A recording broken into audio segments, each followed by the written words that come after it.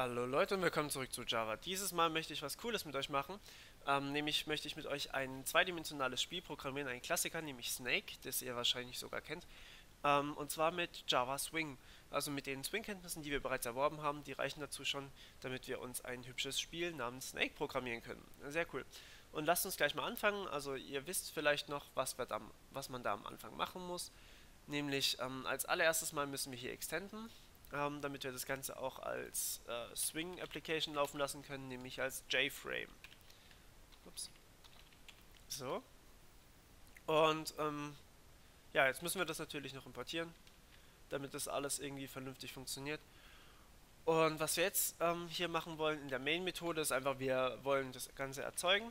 Also wir sagen hier Event Queue und ähm, Invoke Later. Also wenn ihr irgendwas davon nicht kennt, das habe ich eigentlich alles schon gemacht ähm, in einem anderen Video zu Java Swing.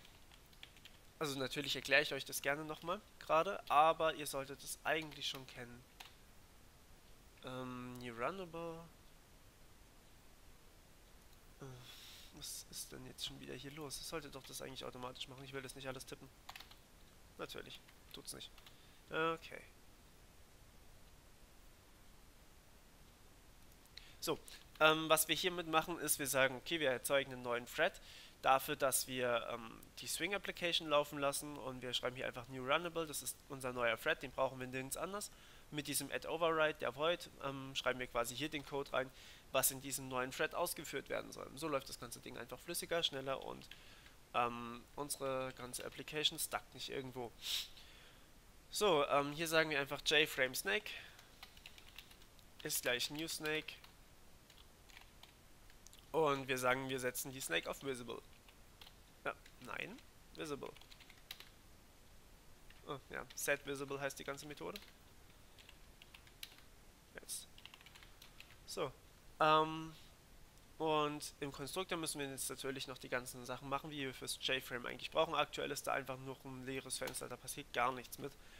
Und was wir jetzt hier machen, wir sagen, wir adden erstmal ähm, das Game das wir hier oben haben. Da steht noch gar nichts drin, deswegen wirft es auch gerade mal einen Error, weil wir hier nicht einfach alles reinmachen, müssen, äh, reinmachen können. Wir müssen hier ein Component reinpacken. Und ähm, ja, das haben wir noch nicht hier oben implementiert, das heißt, wir müssen das nachher extenden, aber das machen wir danach.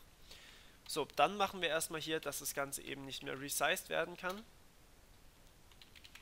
Weil wir wollen ja nicht unbedingt, dass unser Fenster verzogen wird und dadurch die äh, Berechnungen falsch sind, die wir hier machen. Dann packen wir das Ganze, das kennt ihr auch. Ähm, das macht es einfach, dass alles richtig dargestellt wird. Dann setzen wir den Titel ähm, auf Snake. Das sind so die Standardsachen, die man so immer machen muss.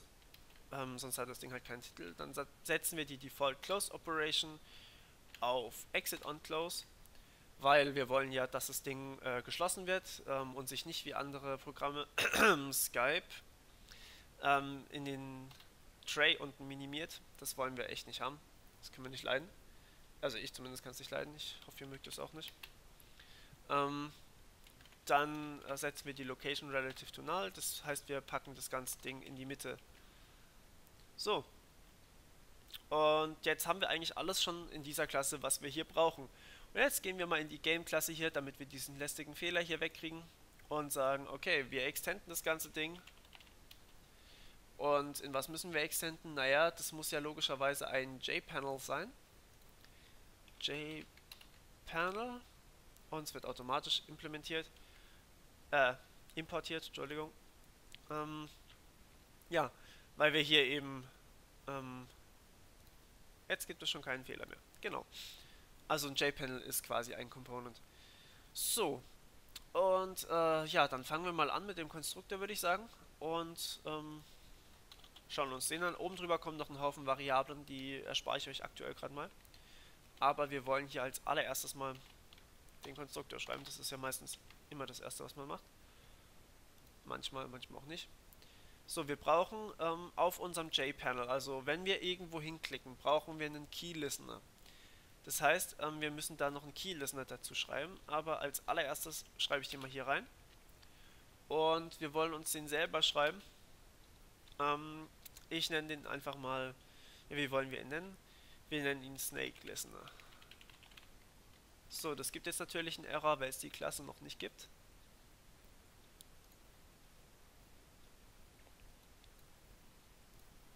So. Und schon gibt es keinen Error mehr. Aktuell macht das Ding natürlich noch nichts, aber wir müssen die Klasse hier noch nachher machen. Ähm, ich weiß noch nicht genau, ob wir die Methoden hier genauso brauchen. Wir werden sehen. So. Ähm, gut. Das nächste, was wir machen wollen, ist, ähm, wir wollen das ganze Ding auf eine bestimmte Größe setzen. Und zwar nehmen wir dazu die Set Preferred Size Methode. Und dann braucht man natürlich einen äh, New Dim Dimension. Und die nimmt einen x und einen y-Wert, also wie breit und wie hoch das sein soll. Und jetzt sage ich einfach mal hier, okay, das ganze Ding machen wir hier oben als Klassenvariablen. Ähm, wir sagen hier einfach private int ähm, width und sagen hier 300 und private int Höhe sagen wir auch 300. Na, komm schon. So. Und ähm, ja, jetzt machen wir hier einfach die Breite und die Höhe rein. Das, äh, der Grund ist der, falls wir die Variablen nachher nochmal brauchen, haben wir sie hier oben stehen und können einfach die Variablen nehmen und wenn wir irgendwann mal die Größe ändern wollen, können wir hier einfach direkt diese Werte ändern ähm, und müssen nicht überall diese Werte hier raussuchen und uns überlegen, ist es auch tatsächlich der Wert. Also es ist einfach softwaretechnisch deutlich äh, effizienter, wenn wir das da reinpacken. Gut, ähm, dann wollen wir natürlich noch die ähm, ganze Sache so machen, dass wir auch irgendwas... Na, komm schon, was ist denn heute los? Set Focusable. Hier. Wir wollen das Ganze anklicken können. Sonst macht das ja wenig Sinn, würde ich mal so behaupten. Oder wir wollen es halt, ähm, ja. Und äh, dann der Vordergrund, äh, der Hintergrund meine ich natürlich. Ähm, da könnt ihr euch irgendwas aussuchen, was ihr da haben wollt. Ich finde äh, schwarz ganz schön, aber ich entscheide mich jetzt hier einfach mal für dunkelgrau. Das fand ich sah irgendwie am besten aus. Ähm, ja. Und ähm, dann müssen wir noch ein paar Bilder laden. Und ähm, diese Bilder, die brauchen wir auch noch hier als Variablen. Also ähm, wir nennen die einfach mal private image. Und ähm, dann haben wir hier erstmal ein, ein, ein, ein äh, ich glaube es ist sta standardmäßig auch der Apfel. Also ich habe jetzt hier einfach mal ein Bild von einem Apfel genommen. Ähm, das sollte man natürlich noch... Uh, was ist das? Okay. Äh... Okay, was war das? Das habe ich jetzt noch nie so gesehen. Java. wo war es drin? AWT. Nein, nicht Sternchen, bitte nicht alles. Image, so. Ähm, gut, dann importieren wir das halt von Hand. Also es ist standardmäßig, glaube ich, der Apfel, was die Schlange frisst. Oh. Ähm, dann brauchen wir noch ein Bild. Private Image. Ähm, der Kopf von der Schlange. Also nennen es einfach mal Head. Und ähm, Private Image Tail, äh, Tail mit A bitte. Und mit Tail meine ich tatsächlich bloß eins von diesen Bobbeln, ähm, wo die Schlange hinter sich herschleppt. Also nicht irgendwie alles, sondern nur ein so einen kleinen Kringel. So, was wir jetzt machen, ist, ich zeige euch mal, wo die Bilder gespeichert sind und wir versuchen die dann zu importieren. So, ähm, hier sind die ganzen Bilder gespeichert. Also einmal Apple, Head, Tail. Ähm, das Apple ist leider ein JPEG, das andere beides sind PNGs. Gut, was wir jetzt machen wollen, ist, wir wollen die Dinger natürlich hier irgendwie mal importieren. Und das machen wir ganz einfach. Wir sagen, ähm, okay, wir nehmen das Ganze als Image-Icon. Das muss natürlich auch noch importiert werden, ähm, weil das Ganze soll ja ein Icon sein, die Dinger sind ja recht klein. Und ähm, sagen da einfach mal, okay, wir fangen mit, was haben wir als oberstes, dem Apple. Image-Icon, äh, ich nehme einfach mal Icon Apple ist gleich und dann sagen wir hier New Image Icon und geben den Pfad an, in dem es gespeichert ist. Da ist es natürlich dann Apple. Was war das? Ah, das war das JPG. Gut, dann sagen wir hier nochmal Image Icon. Das ist dann Icon Head gleich New Image Icon über ähm, head.png und dann das letzte Image Icon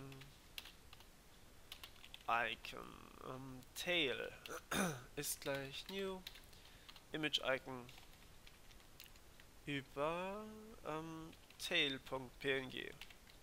So. Und jetzt kann man jeweils sagen, okay, ähm, Apple gleich ähm, Icon Apple Punkt get image. Fertig.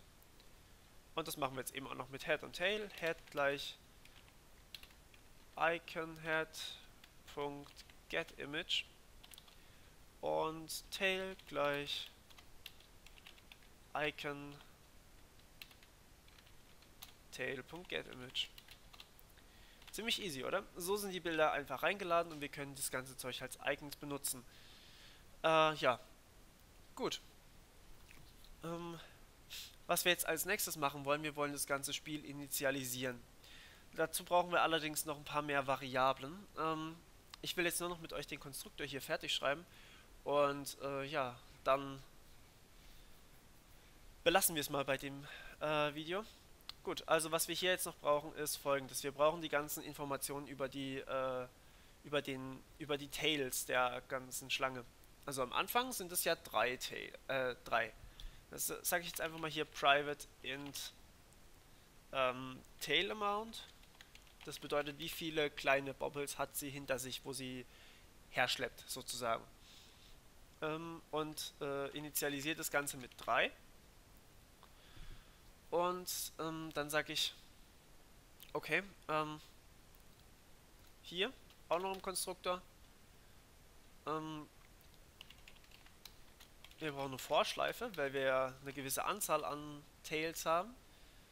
Und äh, for int i gleich 0, i kleiner Tail Amount. Also wir wollen ja so lange gehen, bis wir da am Ende sind. Und vergrößern natürlich i und dann sagen wir hier, okay, wir brauchen, wir müssen die äh, Schlangenkoordinaten hier setzen. Das heißt, wir brauchen hier erstmal noch ähm, ein private int snake x. Das muss natürlich ein Array sein, weil sie mehrere Koordinaten hat und wir brauchen ja jede Koordinate einzeln gespeichert. Ähm, das sagen wir dann new int.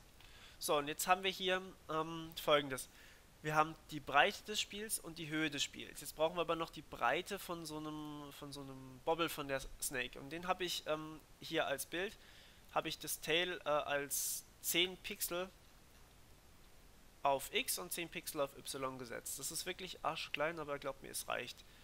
Das heißt, wir haben hier Private in Snake äh, Snake Width nenne ich es jetzt einfach mal und ähm, da sagen wir 10. Und jetzt müssen wir uns ausrechnen, okay, wie viele Dots kann es maximal geben? Damit wir hier wissen, wie groß kann dieses Array maximal werden. Weil wir müssen ja ein Array immer schon vorher initialisieren und äh, nicht danach. Okay, maximal kann es geben 300 mal 300. Hm, okay, 300 mal 300 sind 90.000. Aber da die Snake ja 10 auf der x-Achse breit ist und 10 auf der y-Achse breit ist, haben wir hier ähm, folgende Formel.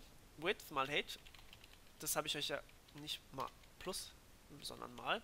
Das habe ich euch ja gerade eben vorgerechnet. Das wären diese 90.000 durch Snake Width zum Quadrat.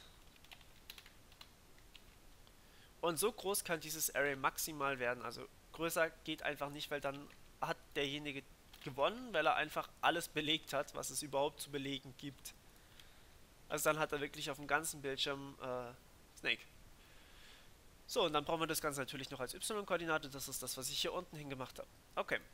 Und jetzt sagen wir als allererstes mal, ähm, wir wollen ganz vorne, ähm, also anstelle x, i, also 0, 1 und 2 in unserem Fall, weil wir hier ja initial das Ganze auf 3 gesetzt haben, ähm, wollen wir ähm, ja, wo wollen wir denn anfangen? Wir wollen anfangen, naja, sagen wir mal ähm, anstelle äh, 100 minus z mal 10. z mal 10, weil hier eben, äh, nicht zi, ähm, ach, Snake x natürlich, äh, die x-Koordinaten.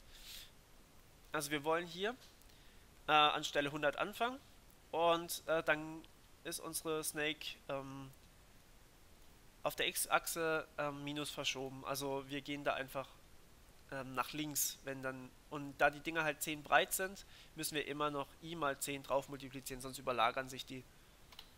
So, und dann brauchen wir noch von der Snake die y-Koordinate. Ähm, auch anstelle i natürlich. Und die können wir einfach standardmäßig, keine Ahnung, auf 50 oder sowas setzen. Dann ist halt die Snake am Anfang permanent auf 50.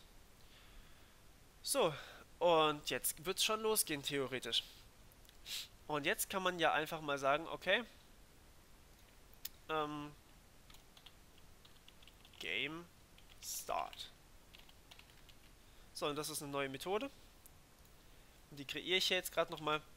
Und damit haben wir das allererste Video fertig. Ihr seht, wir sind schon richtig weit gekommen. Wir haben es eigentlich schon zum Großteil, also zumindest die Initialisierung läuft.